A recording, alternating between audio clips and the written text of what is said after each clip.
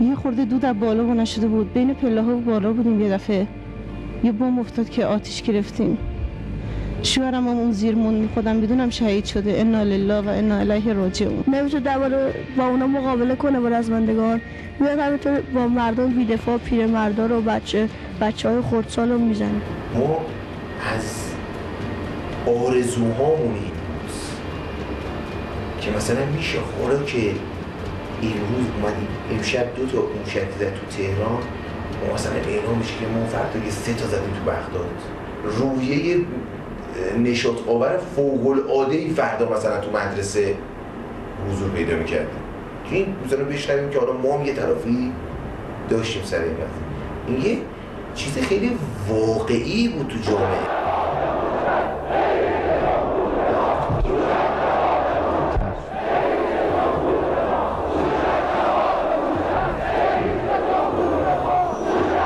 با این طرف هم فشار میوردن به نظام و کشور را پیمایی می‌کردن.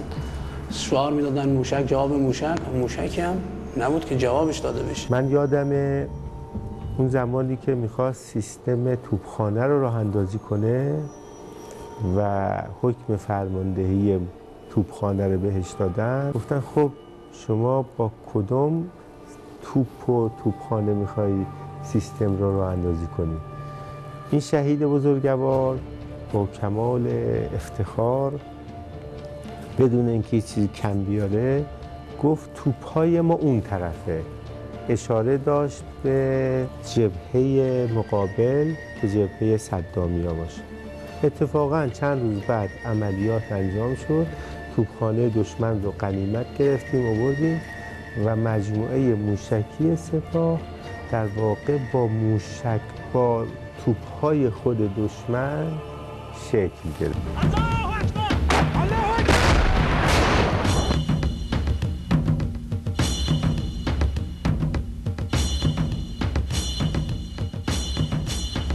اومد گفت مهدی گفتم بله. گفت بیا این بچه ها ببین کدامشون به چه درد می‌خورن. اینجوری هم مثلا این کار هیجانی می‌خواست انجام بده اینجوری محکم. گفتم چی می‌خوای بگی؟ ای آدم. اینا در توپخونه رو یاد نگرفتن. تو چی می‌خوای بگی؟ گفت می‌خوام برم موشک یاد بگیرم. به عربی مقدم میشه سرهنگ. بعد ما ایشونو که صدا می‌کردیم مقدم بیا اینا یه بچه کوچولی انقدی ما میگم مقدم. بعد گفتن که این مقدم وقتی ما رفتیم آموزش ببینیم واقعا سوریه باورشون نمی‌شد که این بچه ها بتونن اینا رو یاد بگیرن اولش گفتن که شما اگر همتون مهندس باشید سه سال آموزشتون طول می‌کشه. دیدشون بعد از ده روز از دوره مثلا بچه ها برگرد یعنی خیلی امیدوار بشن. گفتن اینجور که ما داریم به شما نگاه می‌کنیم و این انگیزه ای که شما دارید حتما به صلاح موفق میشید. آموزش سه ساله رو مقدم کرد سه ماه. ما رو تو پادگان جنگی خودشون آموزش دادن. ما تو پادگان جنگی خودشون با امکانات جنگی اونها این یه اوج اعتماد بود. و من یادمه که در دوره آموزشی هم که در سوریه بود شبها هیئت سینه زنی این شهید بزرگوار رامین دا در میان این سر صدای سینه زنی و به اصطلاح جمعیتی که به هر حال برای بچه آموزشی داشتن یه عده مشغول سوهانکاری بودن. یعنی همین سیستمایی که ما داشتیم آموزش میدیم بعضی از اجزای این رو براده برداری می‌کردن که بعدها بیایم اینا رو آنالیز بکنیم. جالبه تمام اون کسانی که روز اول با مقدم رفتن آیا برای اینکه آموزش شلیک موشک رو ببینند و یاد بگیرن برای بحث پرتاب همشون میگن آیا مقدم مثلا از روز اول نگاهش اینجوری بود که مثلا فردا اینا بگن ما نیستیم. ما باید بتونیم بزنیم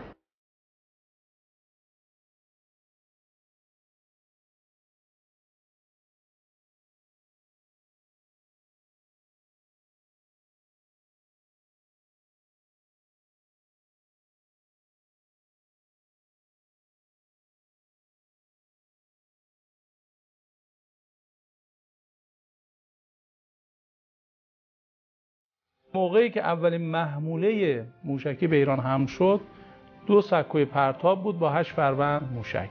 و یه مقدار تجهیزات جانبی که از این هشت فروند شهید بزرگوار شهید حسن مقدم دو فروند رو برای مهندسی معکوس و ساخت موشک از مجموعه عملیاتی جدا کرد و در اختیار تعداد محدودی از بچه های سپاه که اون موقع در وزارت سپاه هسته اولیه ساخت موشک رو آغاز کرده بودن قرار داد.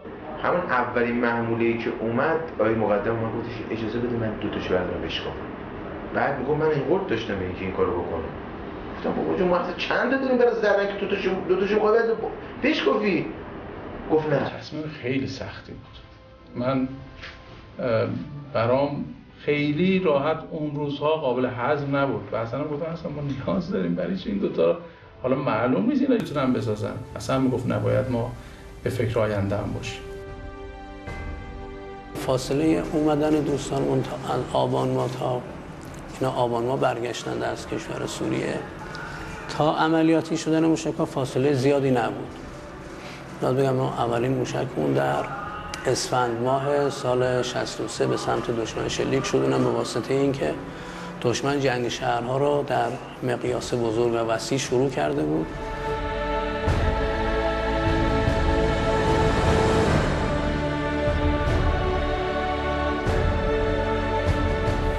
لیبیا گفتن که ما خودمون میایم می‌زنیم و اصطلاح اگر سک و موشک و آوردیم خودمون میایم تیر اندازی می‌کنیم و خودمون بعد می‌بریم اینا رو. طوری رفتار می‌کردیم که اینا ندونن ما می‌دونیم.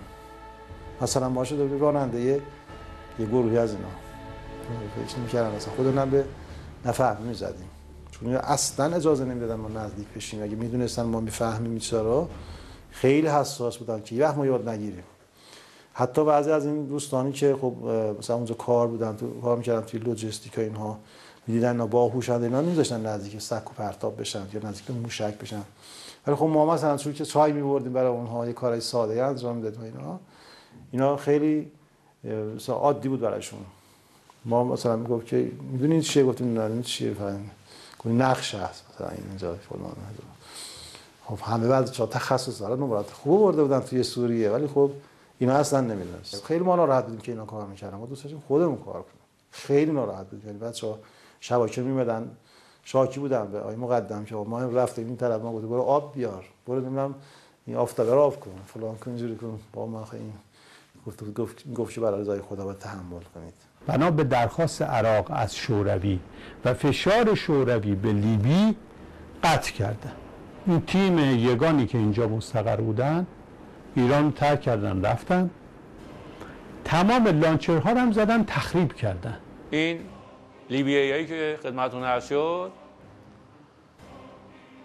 یه یکی دو تا که برامون پرتاب کردن اومدن گفتن اینا رفیقای ما هستن همزبونه ما هستن ما اینا رو بزنیم. یه مرتبه دیدیم که اینا آیه قذافی اینا فراخوانی کرد. نامول کردن رفت. منتها وقتی می‌خواستن برن رفتن در سوله ها را بستن در مثل ها را بسته بودند و یه دو سه ساعت اونجا بودند و بعدا کیفاشون رو دست می‌کنن رفتن. رفتیم خلاصه و شروع کردیم و همه را آماده کردیم و موشک و الحاق قسمت قسم بچه های موشک الحاق موشک رو الحاق کرد و بچه های عملیاتی و همه کارا رو انجام دادن و یا آماده شدن که شروع کنن بعد موشک کشن موشک تست جواب نمیده. سکو جواب نمیده. نمی‌دونم. بعد رفتیم یه سری وسایل نیست دستگاه کنترل آتش نیست دستگاه تنظیم مثل سکوی پرتاب نیست دستگاه بالا بره سکوی پرتاب نیست پیچای زیر موشک نیست. خب سختم بود. کار اول بود تجربه اول بود با طراحی می‌کردن. یک خرابکاری در حجم بسیار بزرگ صورت گرفته بود. قطعات 32 قطعه از روی فقط سکوی موشکی برداشته شده بود. ریز و درشت. افتادم به جون سک و پرتاب. شروع کردم اوراق کردم خب ما همه در ابهام بودیم که حالا بعد چی میشه؟ مثلا بعضی از این سیستم های کنترل یا تست موشک سیستم پیچیده ای هست یعنی شاید بیان هزاران سیم اونجا هست. خب این سیم با اینا یا قطع می‌کردن یا توشش در میبودن حالا اینا بعد چه جوری می‌خوان؟ رو به هم وصل کنن. چه خون و دلی شبانه روز کار کردن. یعنی باور بفرمایید. چون خودم در برخی از صحنه‌های شاهد موضوع بودم. یک ساعت برادرها استراحت نمی‌کردن. شبانه روز کار می‌کردن. اگر یه برادری خسته بود دیگه جونی نداشت برای کار کردن. می‌رفت یه چند دقیقه استراحت کنه برادر دیگه جاشو پر می‌کرد تلاش می‌کردن که بتونن اینها رو عملیاتی کنن. سیما از این جدا می‌کردن به این عدد می‌دادن. با چشم عدد میچسبوندن روی این بینمت میچسبوندن رو یا مثلا عدد یک یک دو دو سه سه اینا که سیما یه جوری باید میشه بعد همه سیستم سکر رو راه کرد بچه های مکانیکی بودن مکانیک سیستم سکر رو راه کرد بعد بحث موشکم همینطور. و این همون بود که اصلا تکره و شیئا و خیر نکن خب اینا باید طراحی می‌کردن سا... میساختن میآوردن تست می‌زدن جواب مثبت می‌گرفتن میبستن. فلزا شبانه روز کار می‌کردن. این کار رو ظرف کمتر از 45 روز انجام دادن. ولی خب تو این 45 روز چی گذشت بر مملکت بماند.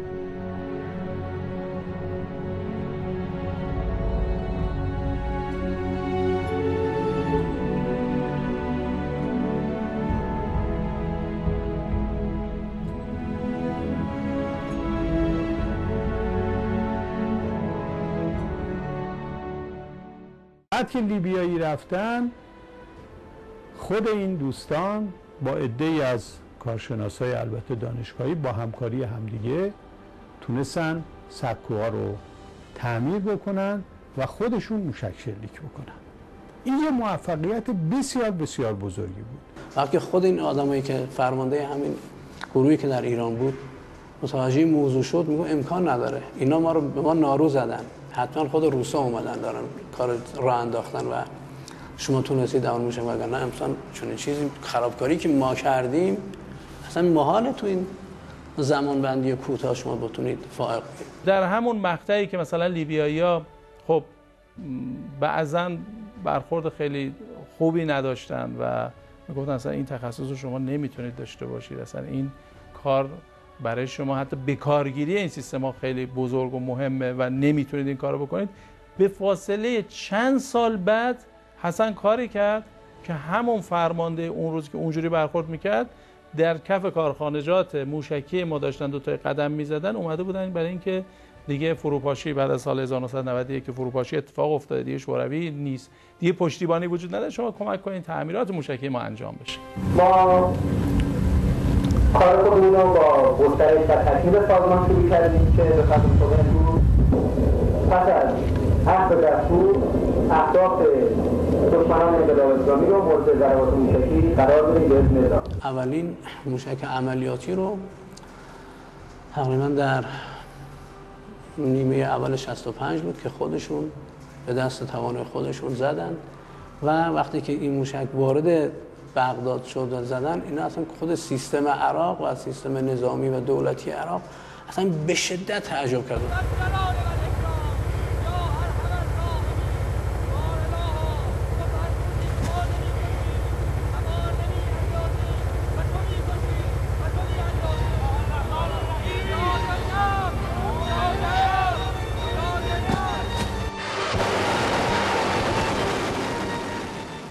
یکی از عملیات های موشکی ما که موشک ما در تست سیمولیشن جواب نمی‌داد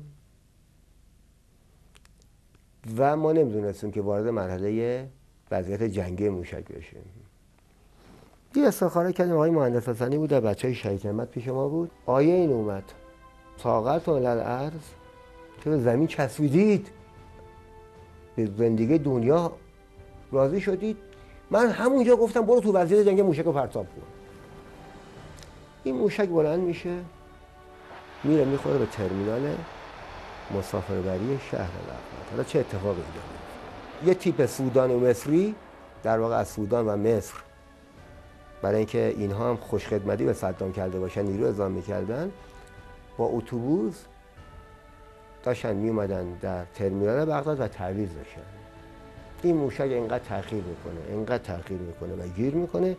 این تیپ با اتوبوس وارد ترمینال مسافری بغداد این موشک میاد وارد ترمینال میشه و یه تیپ مزدور عراق رو که سودانی ها مصری ها بودن نابود می‌خوام به شما الطاف و مارمت ادرمت رو بگم که تمام حرکات و تمام سکنات لنهدیانم سوالنا بود و راهی که خدا نشون می‌داد هدایت خدا می‌داد.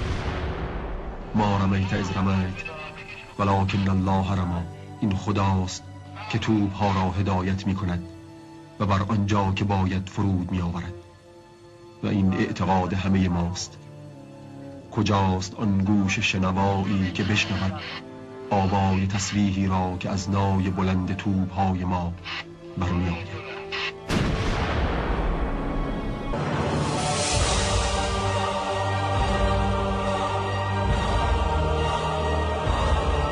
اجازه نمی‌دادن که ما سر خود بزنیم. در زمانی که عراق تعداد زیادی می‌زد ما مثلا یه چند تا می‌زدیم که او متوقف می‌کرد. یعنی در شرایط استرار واقعا به عنوان دفاع ازش استفاده می‌کردیم. موشک اسکادبی که ما در واقع در طول دفاع مقدس حدود 88 فروند موشک به سمت اهداف عراق پرتاب کردیم. اولین موشک حالا تا سومین موشک که زدن بعد از این جریان جنگ شهرها که در اون مقیاس وسیع صورت می‌گرفت یک دفعه فروکش کرد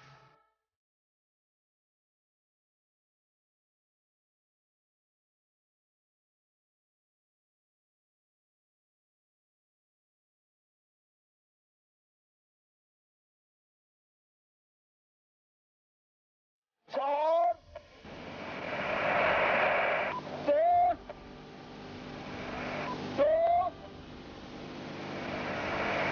یک آتش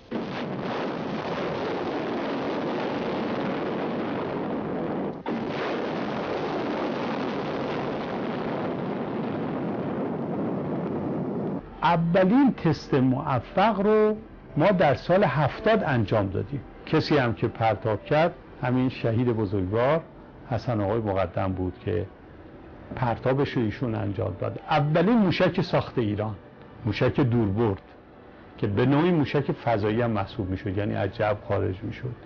شهاب یک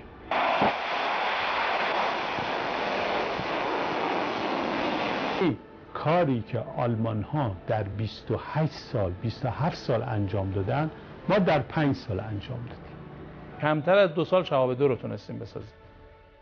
سه چهار سال بیشتر طول نکشید شد شهاب سه. بعد ورژن های بعدی. یه مطالعات عمیقی کردن روی سوخت های جامع و چند نوع سوخت رو تست کرد ایشون. تا یه سوختی بسازه که بتونه بی خطر و ایمن باشه. و به این منظور استفاده بشه شمارش معکوس سامانه های سوخت جامد چهار سه دو یک آتش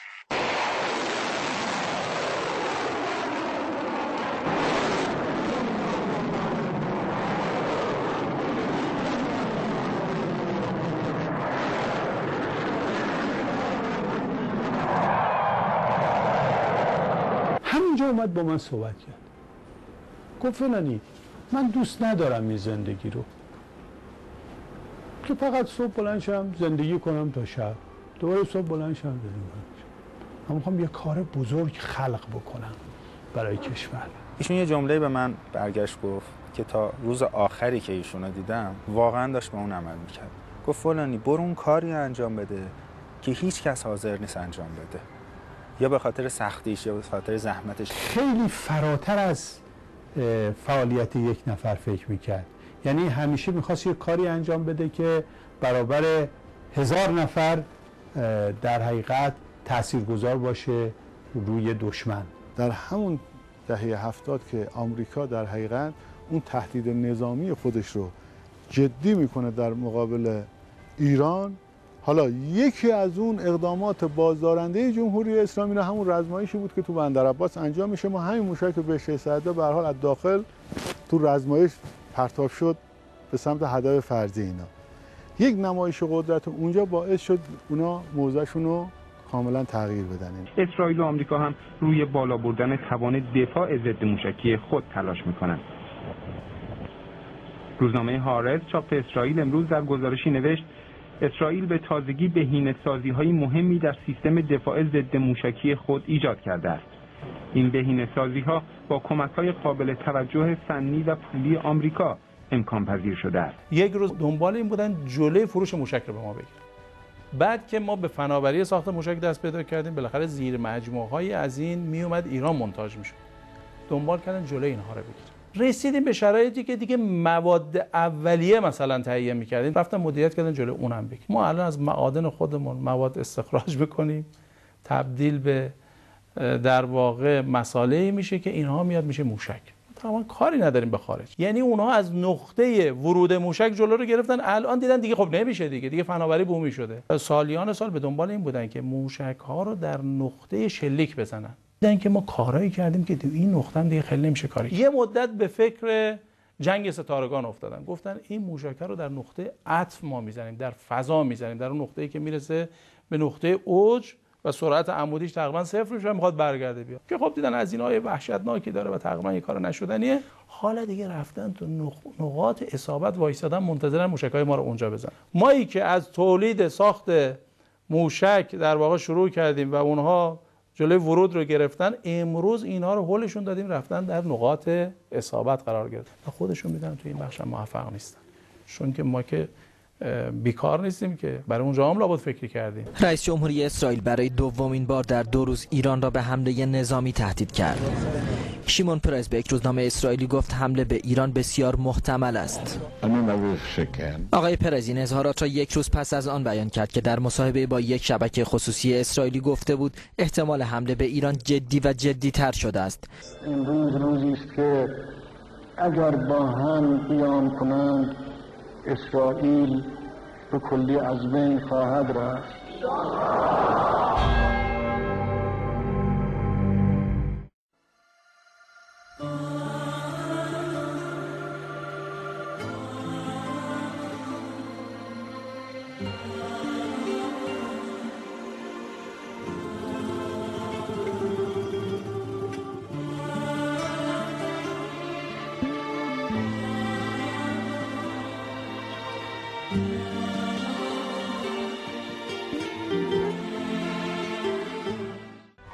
باراک اوباما رئیس جمهوری امریکا اخیرا در مصاحبه ای گفت اسرائیل می‌داند که وقتی امریکا از روی میز بودن همه گزینه ها علیه ایران می‌گوید بلوف نمی‌زند. وزیر دفاع ایالات متحده آمریکا می‌گوید در مواجهه با برنامه اتمی جمهوری اسلامی ایران تمامی گزینه ها از جمله حمله نظامی همچنان روی میز است. وی هشدار داد در صورتی که ایران به مذاکره باز نگردد با امکان اقدام نظامی آمریکا روبرو خواهد شد. گاهی سردمداران رژیم صهیونیستی ما رو تهدید هم می‌کنن تهدید به حمله نظامی می‌کنن. اما به نظرم خودشون هم می‌دانند و اگر نمی‌دانند بدانند که اگر غلطی از اونها سر بزند جمهوری اسلامی تل آویو و حیفا رو با خاک یکسان خواهد کرد.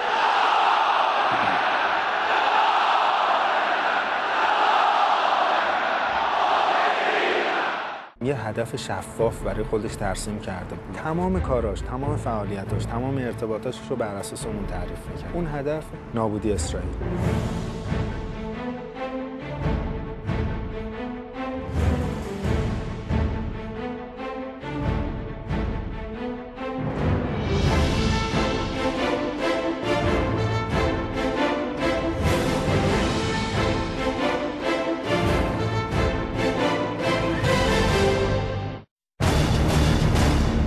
هم برای خودش هم برای کسانی که باش کار می‌کردن.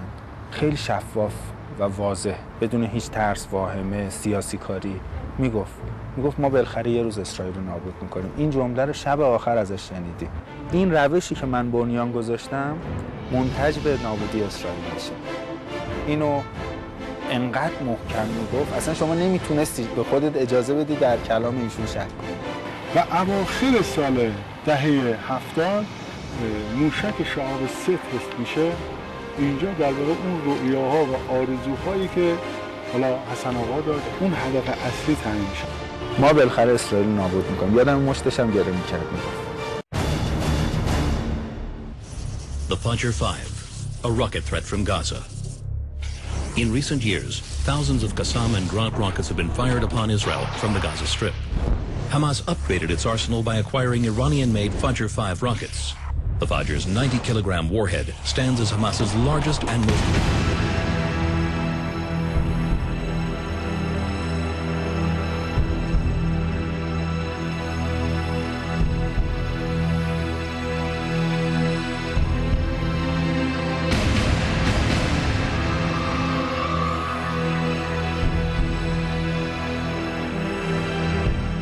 این شهید بزرگوار یک پروژه بزرگ موشکی رو دنبال می‌کرد در صورتی که اسرائیل بخواد تهدیداتش رو عملی کنه. اون چنان سیلی خواهد خورد که تلاوی با خاک یکسان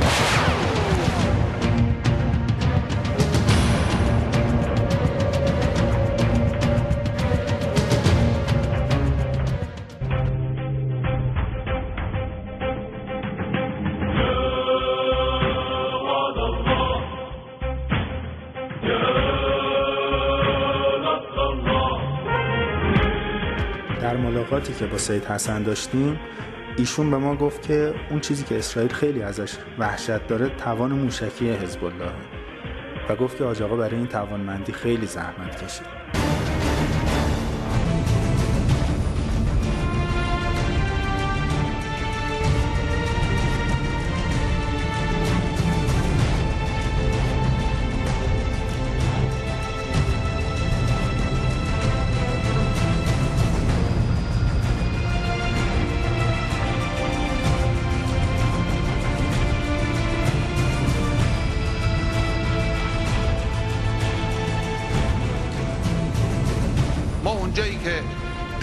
کنیم سریح میگیم. ما در قضایای ضدیت با اسرائیل دخالت کردیم. نتیجهش هم پیروزی جنگ 33 روزه و پیروزی جنگ 22 روزه بود. بعد از این هم هر جا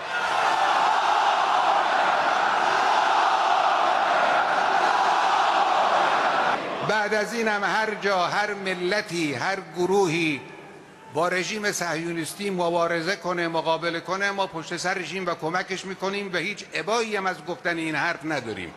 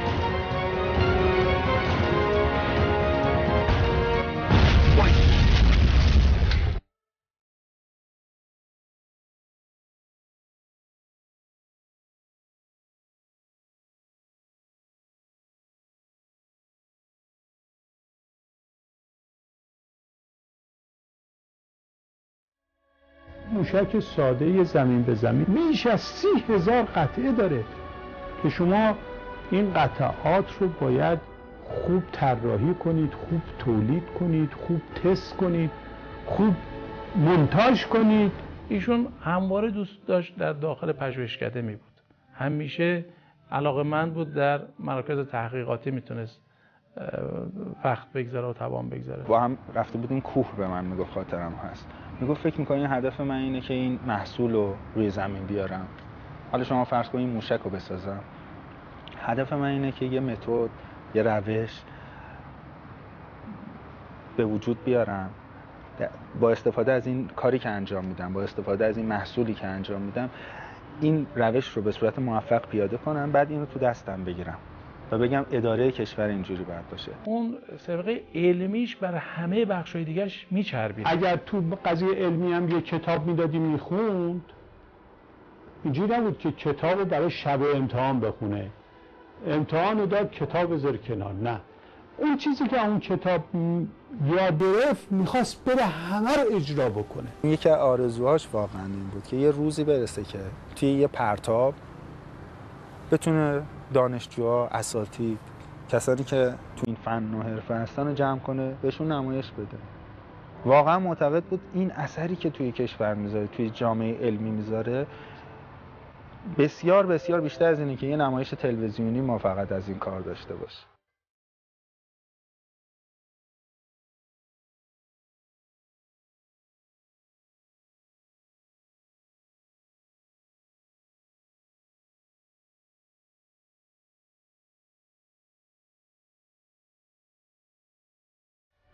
دو سال پیش بود که یه اتفاق خیلی ناگواری افتاد و توی آمریکا قرآن رو آتیش زدن. من خاطرم هست که اون روز ما وارد اتاق ایشون شدیم دیدیم چراغا رو خاموش کردن و خیلی تو فکر بودم ایشون برگشت گفت که تا اون زمانی که ما در موضع قدرت قرار نگیریم اینها ما رو تحقیر می‌کنن.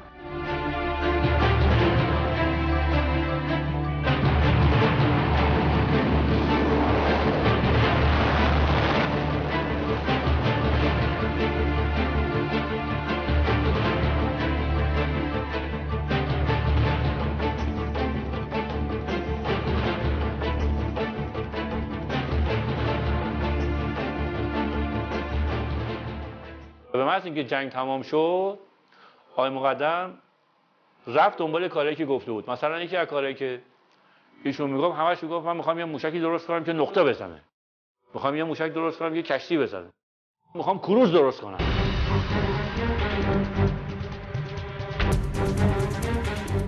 همین مقطع دهه هفتاد ما از نظر کمی وقتی رشد می‌کنیم اینجا در واقع همون تنوع بردها و سامانهای موشکی مورد نظر حسن آقا قرار می‌گیره.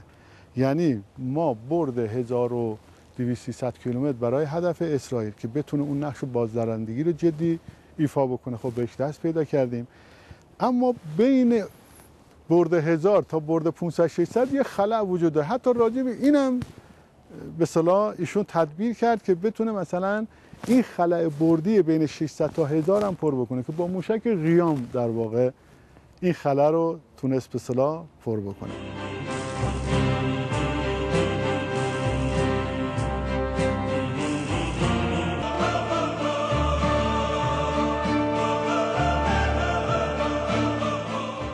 در خلیج فارس ایشون ابداعی رو داشتن طوری توش برنامه ریزی کرده بودن طراحی کرده بودن که اگر یک زمانی دشمن بخواد به این آبهای نیلگون خلیج فارس بخواد چشم طمعی داشته باشه به راحتی می توانستن پاسخ دشمن رو بدن. حتی دشمنانی که اونها رو تو اون منطقه حمایت می‌کردن.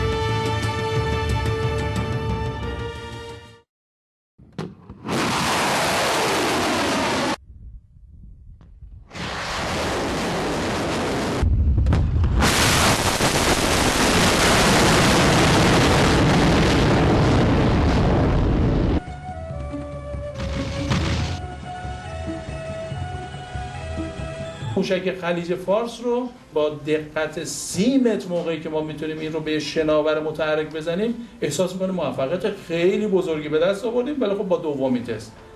بعد این رو حضرت آقا میفرمایند که دقت اینو که تونستید به سی متر برسونید عالیه. ولی خواسته من اینه که این رو دقتش ببرید بالا.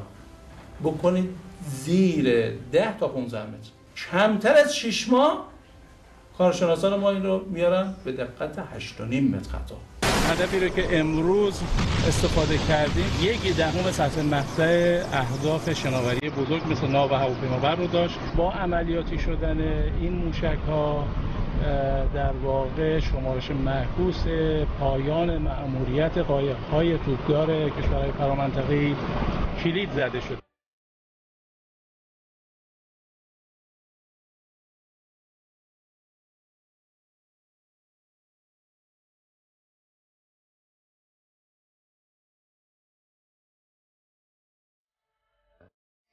یادم دست زد روی موتور.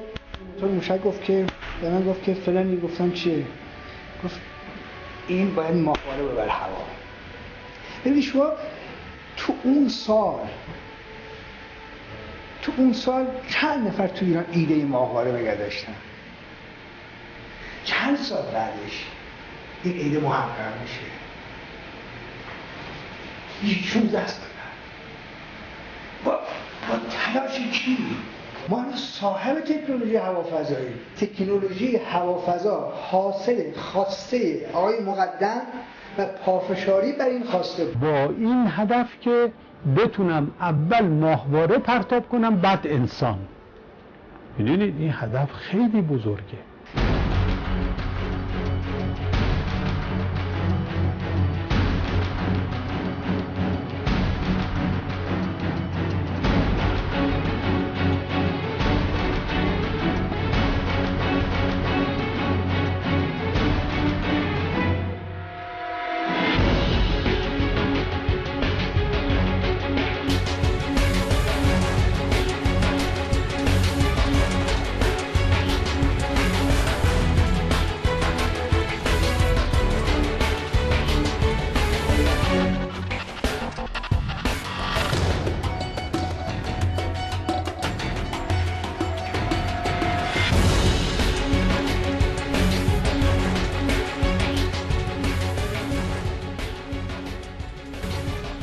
که با شما صحبت می‌کنم تنها جای دست نخورده کشورهای ثابت تکنولوژی فضاست. یعنی در اصل برخی از کشورها مثل ایران وارد عرصه فناوری و تولید چرخه سوخت هسته‌ای شده.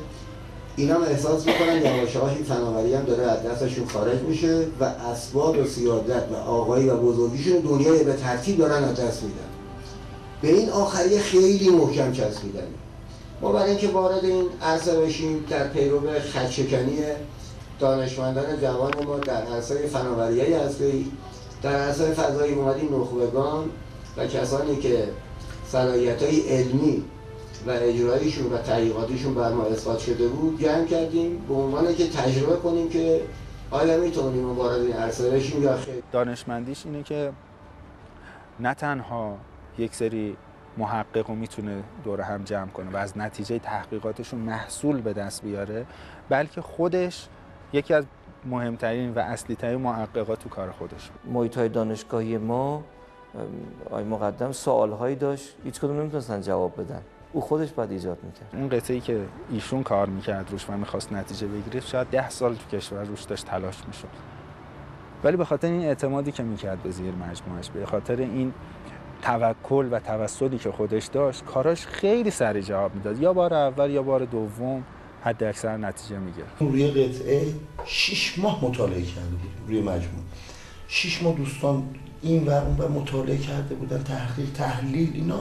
حاج یه چیزی می‌گفت بابا این بازم ما جلوتر. خیلی عجیب بود برای ما. رشتهش متالورژی بود. توی زمانی مشکلی که برامون پیش اومد در زمینه شیمی بود. ایشون ما یه فضایی رو داشتیم نمازخونه بود. نمازخونه رو منتقل کرد به جای دیگه اون فضا رو کرد آزمایشگاه. کجا؟ تو ساختمون اصلی که مهموناش می اومدن و اینها. خودش رفت اونجا با دو نفر از در واقع عزیزانی که توی این حادثه هم شهید شدن شروع کردن رفتن تو آزمایشگاه و انقدر نمونه زدن انقدر نمونه زدن. فکر می‌کنم نزدیک پنج ماه شش ماه ایشون تو آزمایشگاه و صبح می‌رفت یه سری جلسات رو برگزار می‌کرد بعد می‌رفت تو آزمایشگاه. انقدر نمونه زدن تا اون محصولی که مد نظرش بود و به دست آورد. هر جایی که دفتری قرار می‌داد دفتری داشت کنارش یه آزمایشگاه تخصصی ایجاد می‌کرد. اول آزمایشگاه تخصصی را ایجاد می‌کرد به ظرفیت میرسوند بعد دفترش میومد می‌رسید دفترش کار می‌کرد. می‌گفت که اگر مسیر دنیا در زمینه رسیدن به محصولات فضایی مسیر چهل ساله بوده خب؟ ما هم اگه بخوایم اون مسیر رو بریم خب چهل سال طول می‌کشه دیگه. ما بعد از راه میانبار استفاده کنیم مسیر خودمون مسیر بومی خودمون.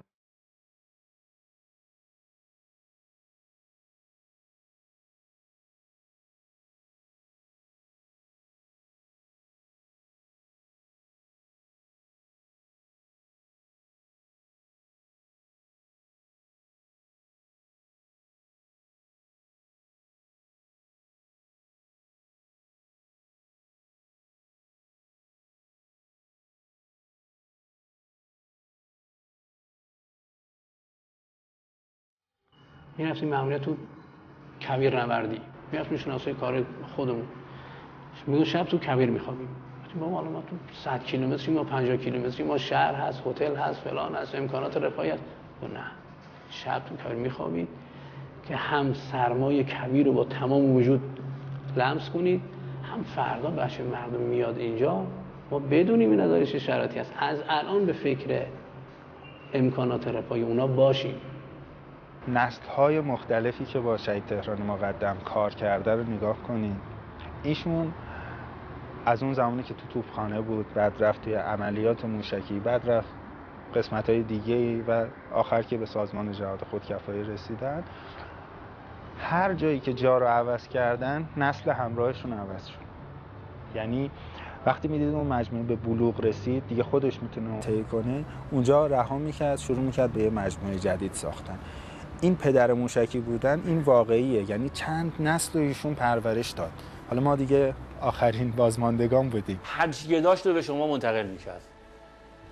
مثلا به آقای شفیع زاده همه دانش توپخانه رو با اینکه خود آقای شفیع زاده استاد بود هرچی که داشت رو بهش منتقل کرد. متاسفانه ما تو محیط های دانشگاهی هم می‌بینیم.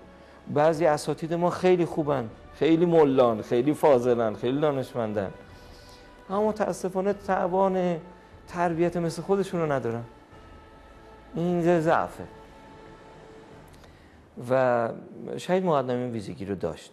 می‌تونست تربیت کنه. خانواده ها رو جمع کرد و گفت که این کاری که همسرانتون دارن می‌کنن ارزشش رو هیچ کسی الان نمی‌فهمه. روزش باید برسه. روزش که فرا رسید همه متوجه میشن که چه اتفاقی تو این کشور داره میفته و شما سهیمین توی به شدت در واقع ایشون تشکر کرد من خاطرم هست از خانواده. و یه کار عجیب کرد. یکی از آزمایشه که انجام داد و به خانواده ها نشون داد. این در واقع حرکت ایشون باعث شد که چقدر همراهی خانواده ها بیشتر بشه. من خاطرم هست حتی یکی از در واقع خانواده یکی از همکارای ما برگشت به حاجی گفت که حاجی من تو قبل از این فکر می‌کردم که شوهرم توی شرکت لوله سازی کار می‌کنه.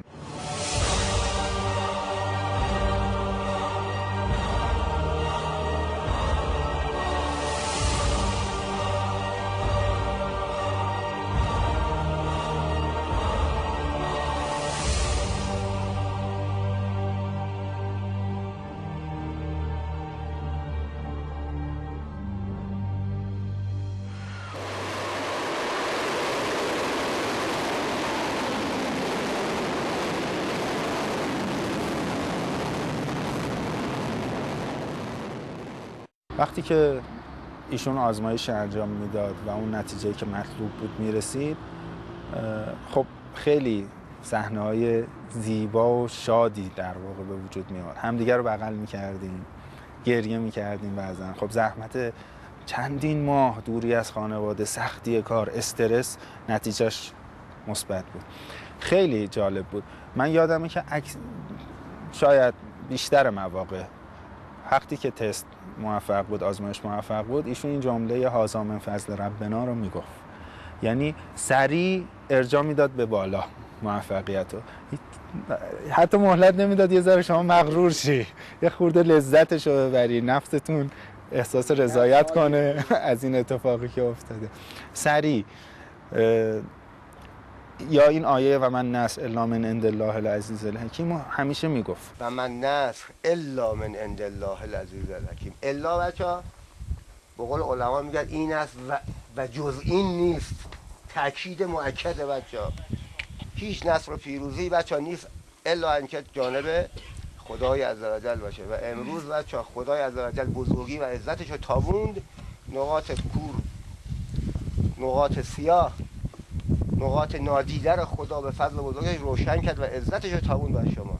الحمدلله رب العالمین. هدف رسیدن به تکنولوژی از روش های میانبر تز آقا همین بود که ما روش خودمون رو بریم. تو میدون خودمون بازی کنیم. این چیزی هم بود که از جنگ گرفته بودم.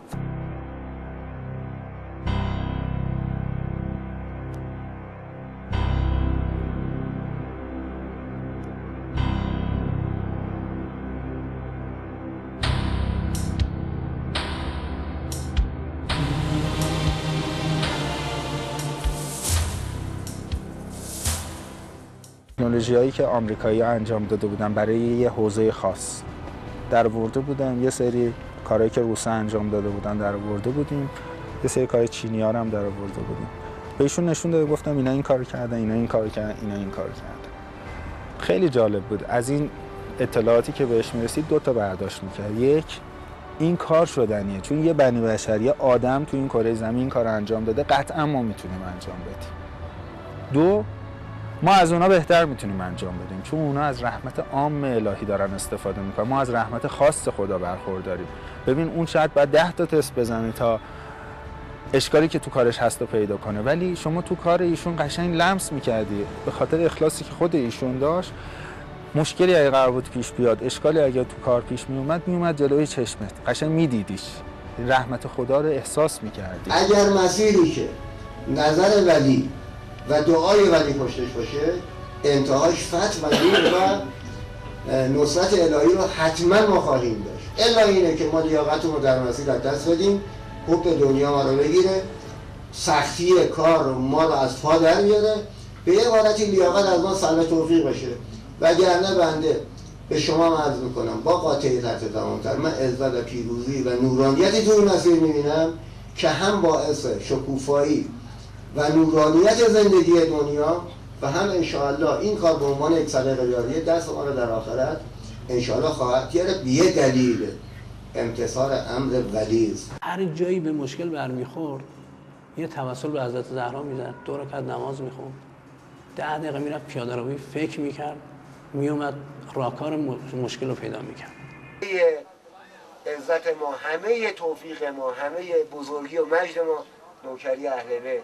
و نوکری در زل نام این خانم بزرگ دو جهانه. روز آخر بودش حاج آقا حالا هفته آخر. حاج آقا نشستن گفتن که حالا یه ذره بره جلوتر. سر یه پیچ همه تون رو جا می‌ذارم. جمعه روز قبلش من و مادرم رفتیم نماز جمعه. حاج حسن آقام اومد ما ستایی پلو هم بودیم. حاج حسن آقا به مادرم گفت اون دوست دیگری که معاون حاج حسن آقا بود او هم به مادرم گفت گفت ما در ما یک کار بسیار بزرگی داریم. دعا کن ما رو دعا کن. سه بار از او خواست که دعا کن. از پلوی ما و مادر ما که رفت مستقیم رفت توی پروژه. حتی پلو خانوادش هم نرفت. یعنی آخرین دیدار ما بود با حاج حسن انفجار مهیب در یکی از مراکز جهاد خودکفایی سپاه در منطقه ملارد استان تهران. صدای این انفجار به حدی بود که در اکثر مناطق استان البرز و حتی تهران شنیده شد. در انفجار امروز در مرکز جهاد خودکفایی سپاه سردار حسن تهرانی مقدم از سرداران دفاع مقدس و مسئول جهاد خودکفایی سپاه و پژوهشگر دانشگاه امام حسین علیه السلام که در زمان حادثه در محل بود به شهادت رسید.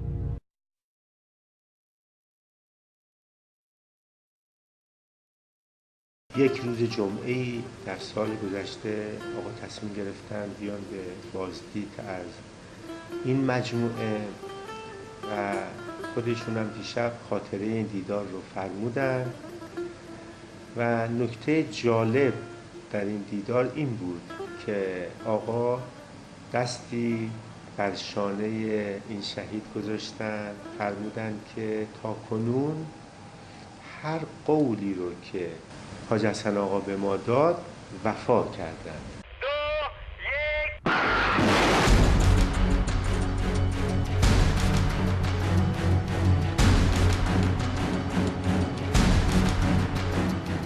کارش هم ناتمام نمونده. کارش رو تمام کرد.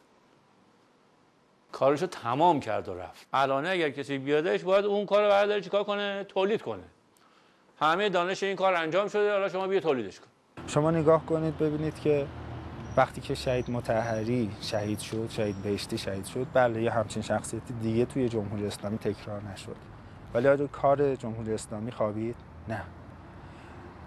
قضیه موشکی هم همینه. ممکنه حسن تهرانی مقدم در حال حاضر. واقعا میگم واقعا اعتقاد خودم اینه که به صورت فیزیکی نه اینکه عنایتش نیست نه اینکه شهید زنده نیست. در بین ما نباشه. ولی آدم هایی هستن که اون راه رو ادامه میدن. و اینو انشاءالله جامعه ما خواهد دید. می‌بینن که اون چیزی که ایشون دنبالش بود اون روشی که ایشون دنبالش بود پیاده خواهد شد.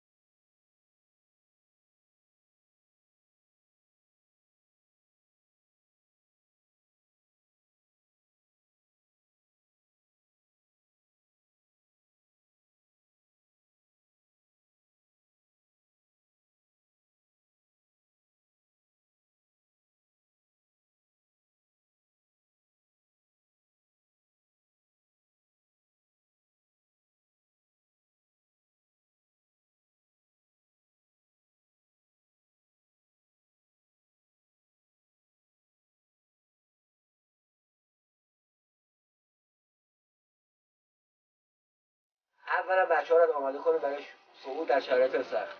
یعنی بچه ها از کاملا آماده باشن در شرایط سخت. تگرد برد بارون بچه بتونن صعود رو انجام بدن. اگر مواجهه با این شرایط شدن شرایط شرایط عادی باید براشون باشه. وقتی که بچه ما در شرایط آفتابی می‌خوایم یا هوای خوب صعود کنیم به هوای بد می‌خوریم شرایط برامون میشه شرایط دشوار و سخت. ولی وقتی از اول خودمون رو تنظیم کرده باشیم برای صعود در شرایط سخت به این جبهه برخورد کردیم بس وضعیت عادی خودمون رو ادامه میدیم. بعد بچه ها رو اینجوری کاملا توجیه می‌کنه. وحشت کسی نمی‌کنه. کوه در واقع اگر بشه با درایت باش برخورد کرد شرط سخت رو میشه راحت عبور کرد و موفقیت با موفقیت بچه صعود رو انجام داد. خدا علمش راه رو نشون میده قدرتش میده خطرات رو حفظ می‌کنه دست اون می‌گیره محبت اون مینزه اون رو داریم بچه اون قدرت اونه.